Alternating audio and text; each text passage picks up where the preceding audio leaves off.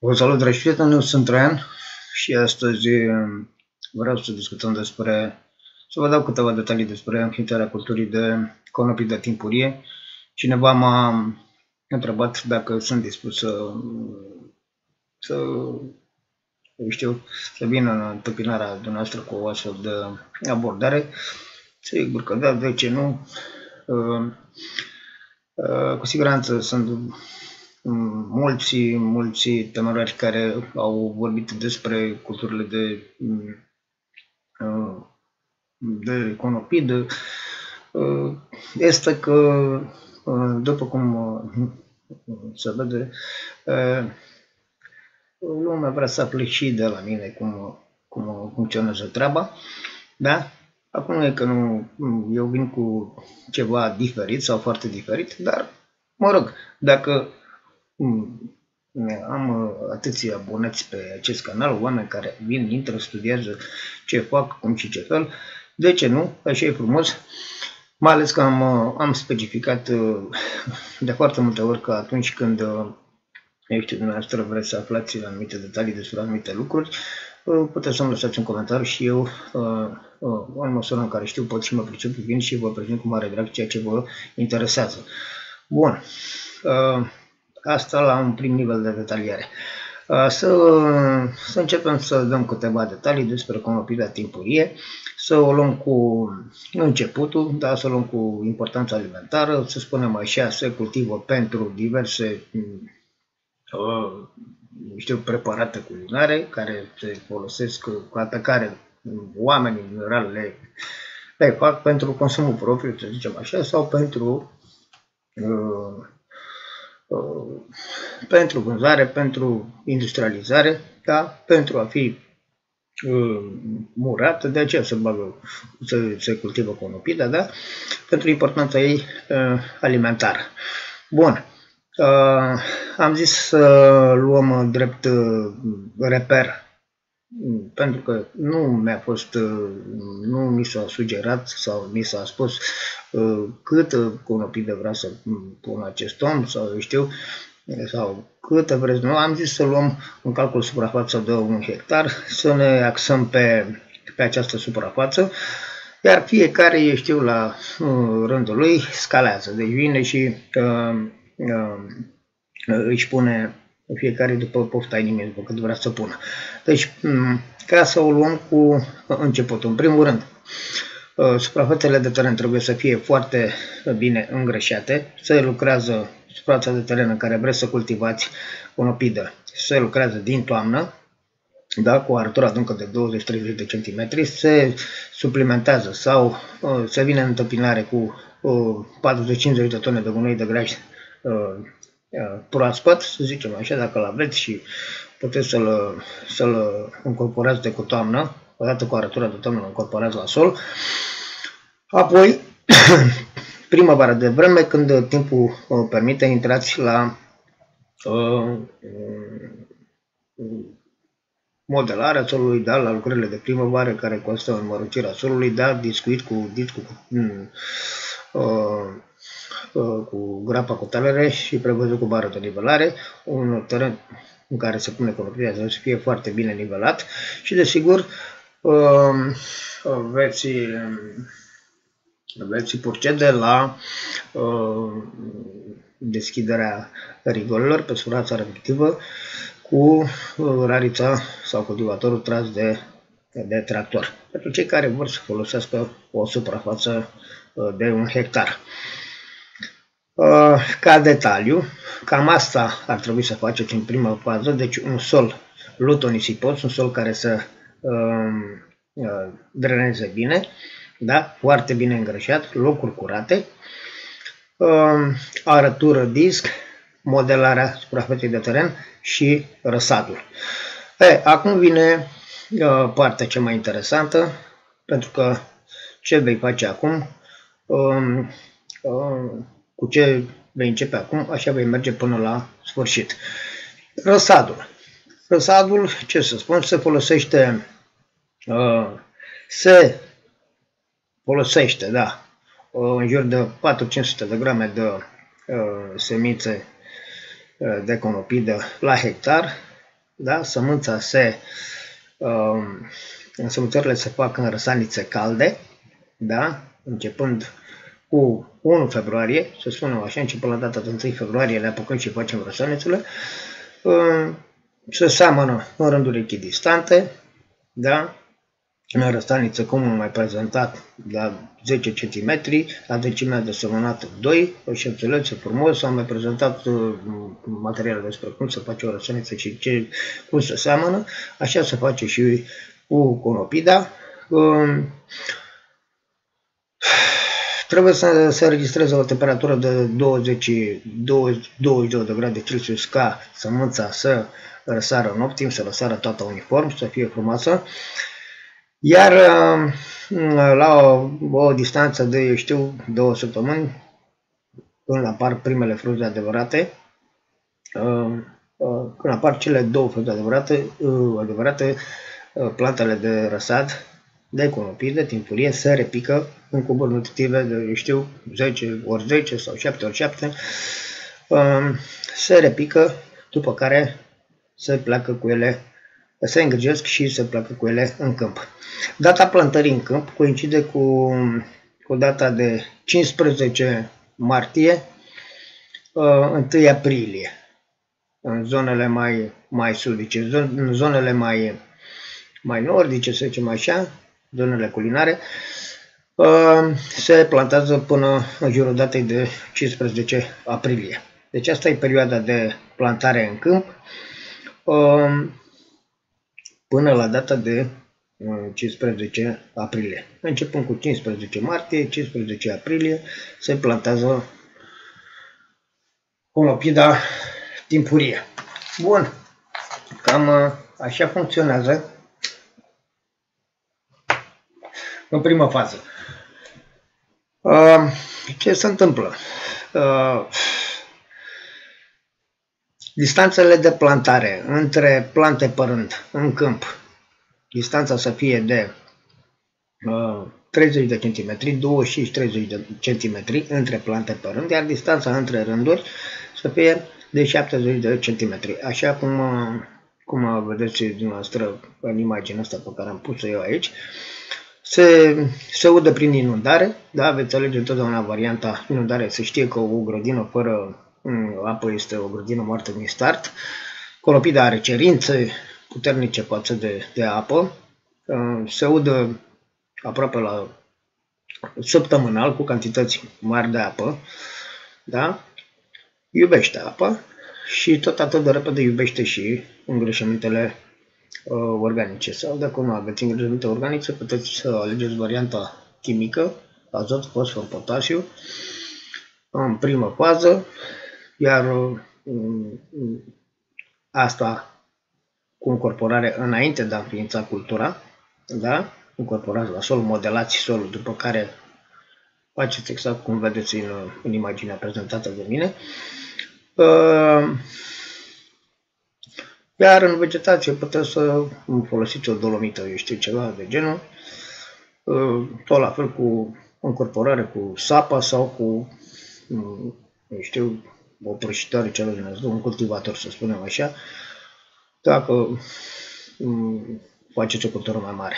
În cazul în care dumneavoastră faceți o cultură mai mică, să spunem că mergeți pe, să alegeți varianta o jumătate de hectar sau 20 de ari, sau faceți scade. De exemplu, la 10 ari, merge la 10 ari, puteți să uh, luați un plic de sămânță de 5 grame, da? să puneți frumos acolo răsăriță, să semănați și să uh, uh, obțineți răsatul, să faceți să înființați 10 arii. Sau dacă vreți mai puțin, un 5 arii, 2 grame jumate de semințe. Dacă vreți și mai puțin, acolo câteva semințe. Dar nu știu, un gram de semințe, să faceți câteva uh, fructe de conopide pentru, uh, pentru consumul propriu. Bun. Uh, am stabilit și distanțele de plantare, am spus și cum se, se face toată treaba asta. Um, dacă eu știu, um, um, după o perioadă, să zicem așa, de um, 80 de zile, să spunem, două luni, două luni și jumătate, uh, va, va începe să uh, conopida va începe să lege. Practic, fructele de conopidă nu e altceva decât o floare. Va apare acea inflorescență, o veți vedea ca un buton floral la început, da? Mm, destul de micuță, dar uh, atunci aia e și o perioadă în care ați putea să veniți să suplementați uh, iar cu îngrășăminte uh, organice, da, eu știu, un macerat format din grădină de pasăre sau ce aveți dumneavoastră pe acolo, pentru cei care au mai puțin, de sigur că la care are un hectar, nu o să poată să facă lucrul ăsta, da? Și foarte atent cu ea pentru a urmăriți evoluția plantelor, vă uitați în momentul în care a început să apară și să crească, să o înveliți sau să îi legați vârfurile pentru a nu se brunifica, pentru a nu se deprecia floarea. Este puțin delicată problema vânzării conopidei, fiind foarte, foarte multă. Se pune problema că trebuie să depreciază și repede dacă nu o recoltăm rapid. Desigur, ea se, se recoltează în succesiv în 3-4 etape. Dar dacă vei avea un sol, așa cum a spus foarte bine, îngrășat fără, e posibil să lege, să o culegi în două etape, da? Să lege puternic, să fie frumoasă, să fie vigoroasă și să bătută, adică o floare să fie compactă, bine bătută și să ai lucru bun. Eh, atunci se pune problema să, uh, să ai unde să o, o, o valorifici. De fapt, asta este prima grijă care trebuie să ți-o pui. Unde vând, că de produs nu este o problemă, de produs cu siguranță vei produce conopidă. Dar te gândești, băi, dacă am făcut, unde vând? Unde vând eu 12, 13, 14, 15, 2 de tone de conopidă? Și asta în funcție de ce uh, soi sau hibrid vrei să alegi. Um, am uitat să specific un lucru, deci soiul trebuie să fie undeva de 100-120 de zile. Așa, asta este, asta e perioada de Uh, la soiurile timpurii, de la însămânțare și până la recoltare, 100 de zile, 100-120 de zile. Câteva soiuri așa și putea să spun, nu știu, timpurie de Bacău, Fort Adus, Dumbrava, ceva de genul, dar și uh, de asemenea și hibrizi, slavă Domnului, sunt sute, dacă nu mii de hibrizi, de unde poți să alegi care mai de care vine și să laudă cu cât produc ei ce fac, ce știe, mă rog, hibridul respectiv sau soiul respectiv să facă. Ai de unde alege, nu e o problemă. E important este să, să faci, să iei, să cumperi, să faci și să te apuci de treabă. Am pus eu, de-a lungul timpului am pus acolo, dar n-am pus foarte mult. Eu conopit de timpurie puneam așa câteva, eu știu, până 30-40 de plante, să am acolo să fie să găsească. Dar nu am făcut culturi mai mari de conopidă. Am făcut cultură mare de conopidă, într-adevăr, uh, dar pentru cultura de toamnă, da. De am vândut-o toamnă. Dar, mă rog, dacă interlocutorul meu a vrut așa, eu am venit și i-am prezentat cum stă faza cu uh, conopida uh, timpurie. Deci, lucrări, ca lucrări de întreținere. Sapa, se știe, deci o sapă, două, frumos, părând, da, sau pe vad, da, să trage pământul frumos din creasta valului către rădăcina plantei ca să nu strici vadul sau să nu la stupi, da, după care vii și bagi apă cu furtunul până, până inundare și nu mai ai probleme. Uzi o dată, de două ori pe lună, vine primăvara uh, cu puțin noroc, mai intervin și ploile, dacă plouă cu atât mai bine, te scutește de la investiții, da? Aia, tot ce dă Dumnezeu e bun. Așa. Și uite așa să înființează o, o, o cultură de, de conopidă. Desigur, eu încurajez, încurajez treaba asta. Uh, este o cultură ușoară, da? Uh, mai mult de o sapă, una, două, o sapă manuală, să spunem așa, cu sapă pe între rânduri, nu, ea crește în vegetație, da? Uh, umbrește, da? Umbrește solul și nu, burenile nu prea mai, nu prea mai cresc pe acolo. Dacă ești adept și vrei și ai cu ce și alea poți să faci și o mulțire cu paie la sol, spre exemplu, dacă vrei să uh, faci și chestiunea asta, cu atât mai bine, nu încurcă cu nimic. Uh, ideea este să pleci în câmp cu un răsad bun, adică să ai un răsad puternic care să treacă peste intemperiile astea de, uh, de primăvară. Știm că sunt arșițe, vânturi, și mai ales dacă sunt uscate și nu, nu sunt ploi, atunci e cu cheltuială și e cu muncă mai multă și mai mult decât atât, răsatul trebuie să fie unul puternic ca să reziste, să nu fie unul crud cu apanel, necălit, da, sau firav, că nu vei face absolut nimic. De aia se și repică răsadul de uh, conopii de timpurie, prin comparație cu cel care se, se seamănă, să zicem, în luna cea de-a doua decada a lunii iunie, care este pentru toamnă, ăla nu se mai răpică. Pe ăla poți să-l faci direct la fața locului, în câmp, să-ți faci brață, să pui ei din brază și ieși direct pe solcul, direct în câmp, te duci și l-ai plantat. Și ai de unde alege, că dacă ți-ai pus, eu știu, 30 de metri de pătrați de, de, de, de, de,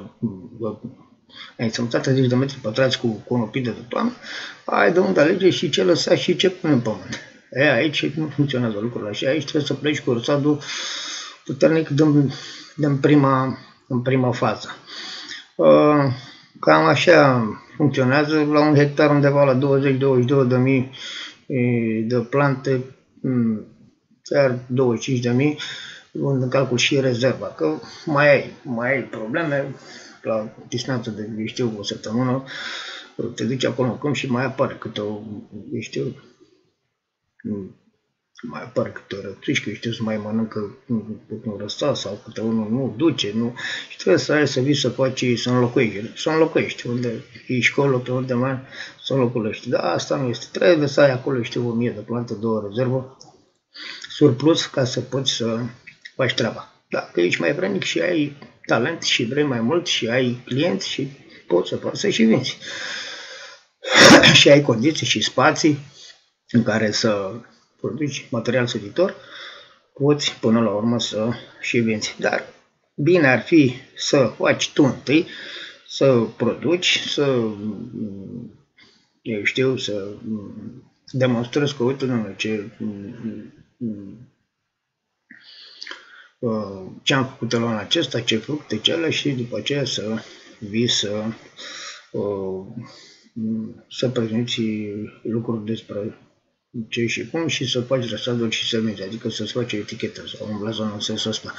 Eu n-am cum să vin să vă arăt astfel de lucruri pentru că nu cultiv, în general nu cultiv, nu am mai cultivat de nu mai țin minte conopii de timpurie și sunt ani de zile de atunci de când. Dar am făcut, am făcut acolo, am spus, spuneam câteva plante pentru mine, ca să pot să vin să-ți prezint clar cum funcționează. Da, crește în jur de un kilogram, un kilogram jumate, două chiar mm, compactă, micuță, floarea, da? Uh, e bun, e bun să vinde. Acum rămâne de văzut cui vinde. Asta este mare, am mai spus, o mare problemă cu care majoritatea grenarilor se confruntă. Ok. Sper că am atins o, într-o măsură mai mică sau mai mare o, o, o plajă mai mare de, adică o plajă cât de cât uh, mulțumitoare de informație. Dacă eu știu, mai sunt chestiuni pe care eu nu le-am prezentat aici, puteți să veniți să puneți întrebări și eu vă răspund cu mare drag. Ok, dacă v-a plăcut acest material, ca de fiecare dată, un share, un like și pentru cei care au venit mai nou pe canalul meu, vă rog foarte frumos să vă abonați pentru a fi la zi cu noutățile. Iar dacă mai sunt cereri de uh, astfel de materiale sau tutoriale despre grădinărit, eu vă aștept cu mare drag să știu să veniți, să astfel pot și eu să um, pot să mai postez, să știu cu ce fel de probleme vă confruntați și eu cred că este mai bine așa să vin să fac materiale și să iar noastră să veniți să le vizionați, să vedeți dacă uh, v-a ajutat sau nu. Dacă v-a ajutat, spuneți acolo în comentarii, dacă nu, iar la fel spuneți acolo și tot așa. Eu vă mulțumesc foarte frumos că asta cu mine, să aveți o zi excelentă, la revedere!